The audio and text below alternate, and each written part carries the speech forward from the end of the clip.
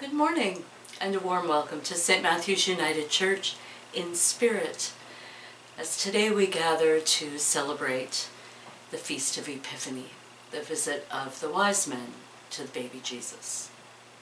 I'm very glad that we're able to gather together this day and I invite you to join with me in prayer.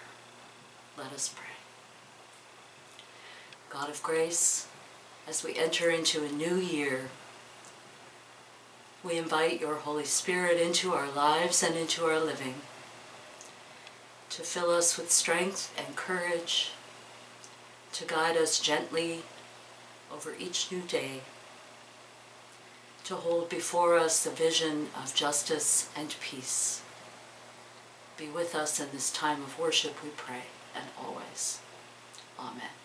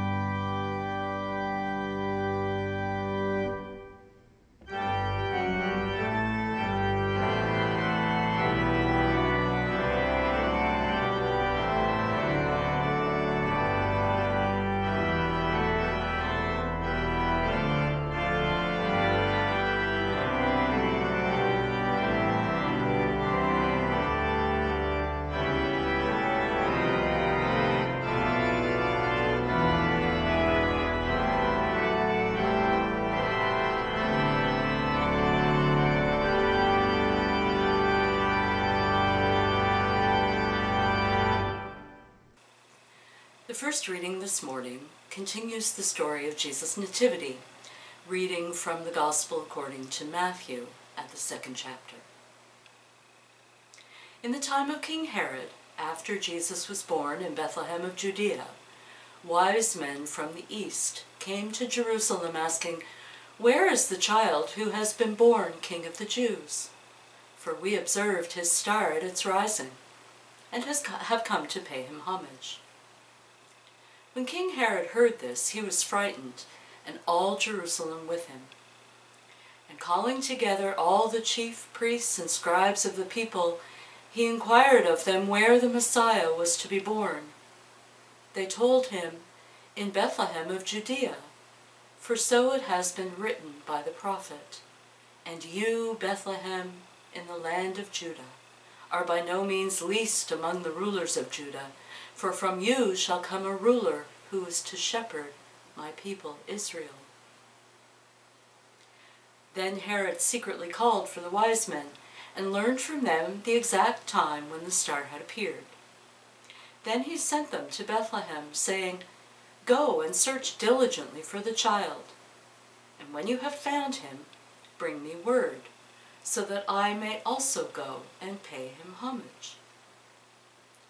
When they had heard the king, the wise men set out, and there ahead of them went the star that they had seen at its rising, until it stopped over the place where the child was. When they saw that the star had stopped, they were overwhelmed with joy. On entering the house, they saw the child with Mary, his mother and they knelt down and paid him homage. Then, opening their treasure chests, they offered him gifts of gold, frankincense, and myrrh. And having been warned in a dream not to return to Herod, they left for their own country by another road. The Word of God. Thanks be to God the, arrangement is still just as good. Can you hear the Christmas bells? Amen.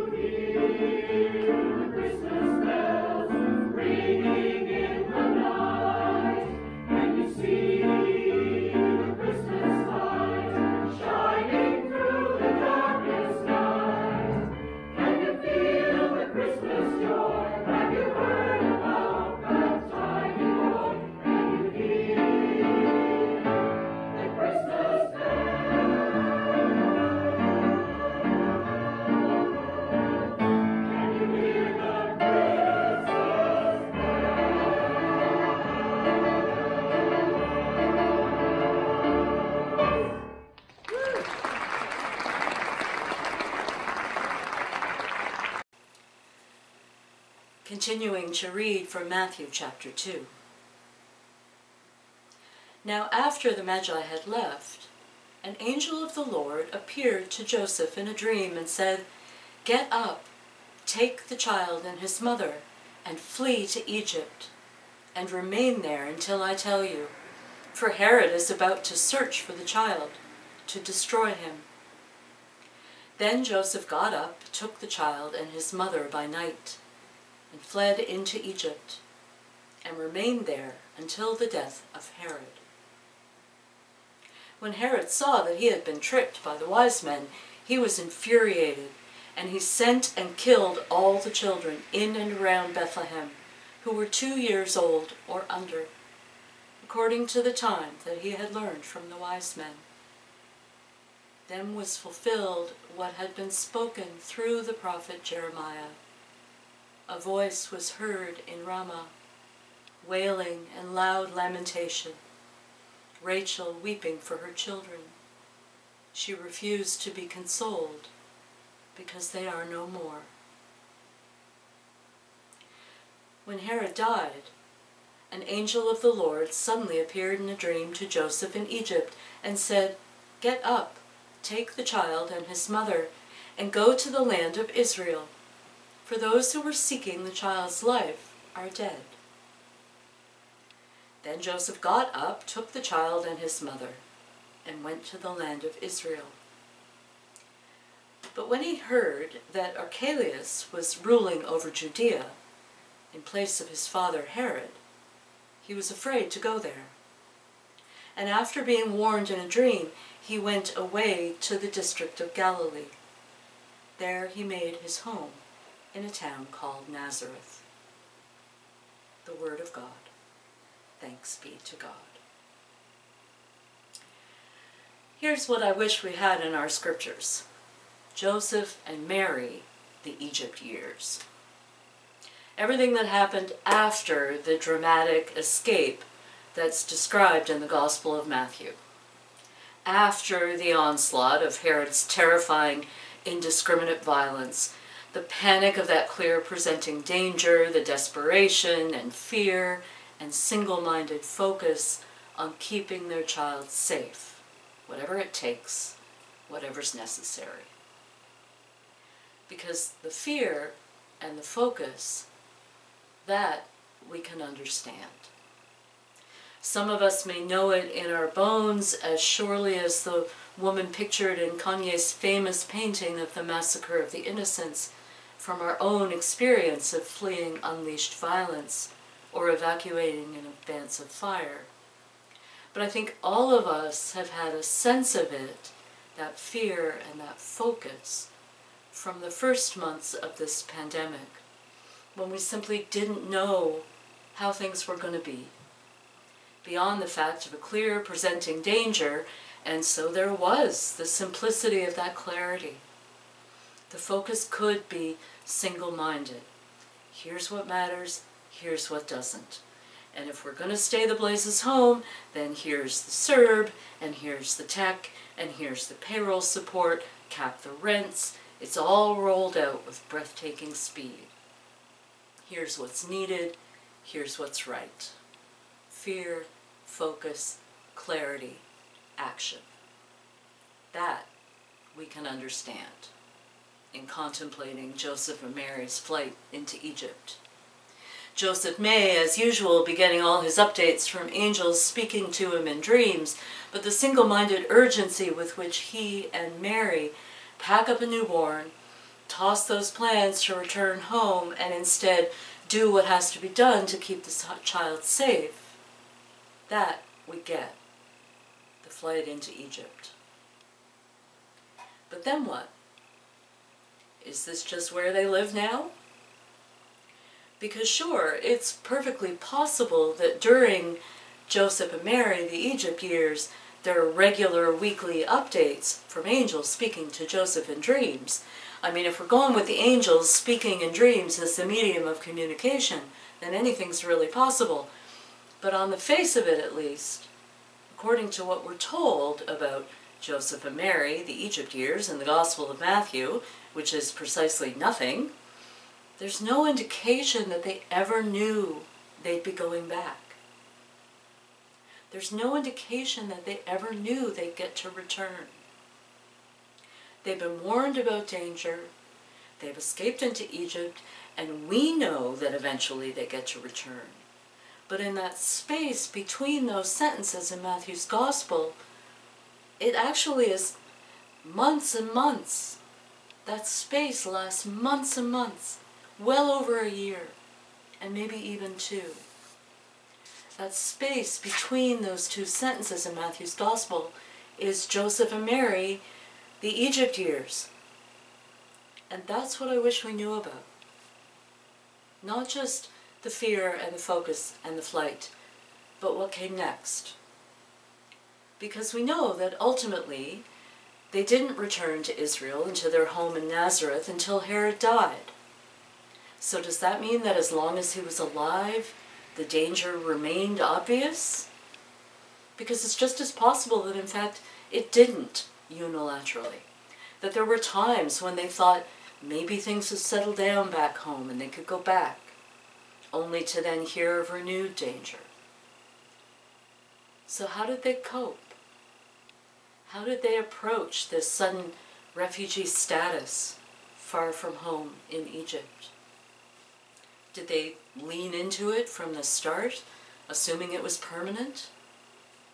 It occurred to me in thinking about this story that when we hear about people who come to Canada as refugees, say from a place like Syria, in conditions of violent civil war, we do sort of assume that there isn't ever going to be a time when they can go back. But that demands of those involved a particular mindset, an acceptance of this sudden new normal as permanent. And it'd be quite a different mindset than that which might arise if somehow there remains a kind of lingering hope that it's all just temporary. So, did Joseph and Mary lean into it with that kind of mentality of bloom where you planted, Egypt is where we live now? Or were the Egypt years fraught with a kind of constant feeling of being in limbo, up, unrooted, yearning for normalcy and unwilling to say out loud, this is what normal looks like now? We just don't know. And I wish we did. I wish we knew how they managed, how they coped. When the big drama subsided into just, you gotta be kidding me, still? And months and months later, and still? And more months and months later, and seriously? This is really still going on? I wish we knew how they dealt with it. Because they did. Somehow, through all that protracted, exhausting limbo time in Egypt, they kept their hope. They kept their faith that what was wouldn't always be. Until, at long last, the angel brings good news and they can go home. Which brings us to a weird little detail that I don't think I'd really registered before, that sets Matthew's Gospel up against Luke's. Because Luke, in his Gospel, he assumes from the beginning that Joseph was already living in Nazareth. Luke has Joseph and Mary traveling from Nazareth to Bethlehem for that census that requires everyone to go back to their hometowns. But Matthew doesn't. Matthew, in his gospel, he lands Joseph and Mary in Nazareth after the flight into Egypt. And Matthew ascribes it not to be not to being the obvious place to which they return because that's where they were living before, but instead as the result of one more experience of danger after, in theory, the danger had all passed. The angel brings good news, Herod has died, and so now it's theoretically safe to return, except not so fast, apparently it isn't. And so it's then, Matthew tells, tells us in his gospel that Joseph and Mary keep on moving and wind up in Nazareth. It all seems unnecessarily complicated, though it's easily explained by Luke just wrongly assuming that they'd been living there in the first place. But I find what it speaks to in this particular moment is something that honestly I find weirdly reassuring in the midst of all this that we're going through right now. Because it could have been, we could have had, a story of the flight into Egypt that's like big drama and fear and focus and action, and then it's all over and they come home again, all good. Yes, I could wish we knew more about Joseph and Mary the Egypt years, because frankly they were probably exhausting, and it'd be nice to know how Joseph and Mary coped with all of it. But it could have been, and we would have had, just the big danger, and then the resolution. All tied up in a bow, and it's done. But that's not how the story ends in Matthew. Instead, weirdly, strikingly, there's this one more experience of danger after, in theory, all the danger has passed. Only this time, according to the angel who brings messages to Joseph in his dreams, this time it's all good, that danger, with just some pretty minor precautions. All they have to do is move to Nazareth, and then it'll all be fine. And they do. And we could just stop there. Just recognizing and being strengthened by how firmly they did keep their faith throughout it all and maintain their hope throughout it all. That what was wouldn't always be. That all things are possible with God, and with God all things are possible. But I think there's a word for us here more specifically in this moment when we're knee deep in one more experience of danger after an exhausting almost two years, and after, in theory, the danger has passed.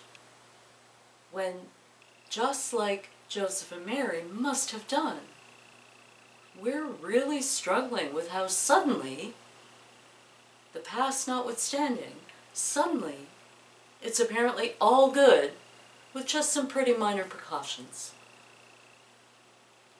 It had to have surprised them, Joseph and Mary, that sudden shift in risk assessment by that last angel. Trusting and faithful they absolutely were, but it had to have been unsettling, even frightening. It can't have been easy for them to let go of one perspective on a clear and present danger and replace it with a completely different way of thinking about that clear and present danger. As now just a matter for, oh, flight to Egypt? No, just a few precautions and relative calm. It must have been hard to just settle into Nazareth like this danger from the new ruler is somehow different from the danger from the old ruler that sent them fleeing across the border into Egypt in the dead of night. Because I'm sure it didn't feel different to them. Not at first. Not when it's a matter of life and death. I suspect it took time. But I do find this part of the story weirdly reassuring. Because where we are right now is at exactly that same moment of being dragged from one perspective on a danger to a new perspective on that danger. And it is hard. But we look at Joseph and Mary, and it's doable. It'll take time, and we could be forgiven that for wishing that Matthew had included even a line or two of Joseph and Mary, a new start in Nazareth, to give us a sense of how they inched their way from the old perspective on that danger to this new perspective on that danger. But they did. They got there. And we will too. With God, all things are possible. Amen. Let us pray. Dear God, we begin this new year with trepidation, anxious afresh and caught between familiar precautions and changed policies, uncertain what's safe and struggling to trust. Help us, as you did Mary and Joseph, to find a way through it all. Hear our prayers for those we love and for all whom you love. For the wellness and well-being of all. For those in hospital and their families. For all in isolation and all who are again locked down. We pray for wisdom in our leaders for caregivers and cleaners, clerks and delivery people, healthcare providers, and emergency service workers, teachers and daycare workers. God, we lift to your care all who are spending this season in shelters and tents, in refugee camps, and in our own city. Comfort all who are sad or worried for the future. Protect and guide all who are traveling and all who are far from home. Surround and strengthen our families, our neighbors, and our friends, we pray. Loving God, as we begin this new year, lift our spirits with strong hope, and carry us gently. For we pray as Jesus taught us, saying, Our Father, who art in heaven, hallowed be thy name. Thy kingdom come, thy will be done on earth as it is in heaven. Give us this day our daily bread, and forgive us our debts as we forgive our debtors. And lead us not into temptation, but deliver us from evil. For thine is the kingdom, the power, and the glory, forever and ever. Amen.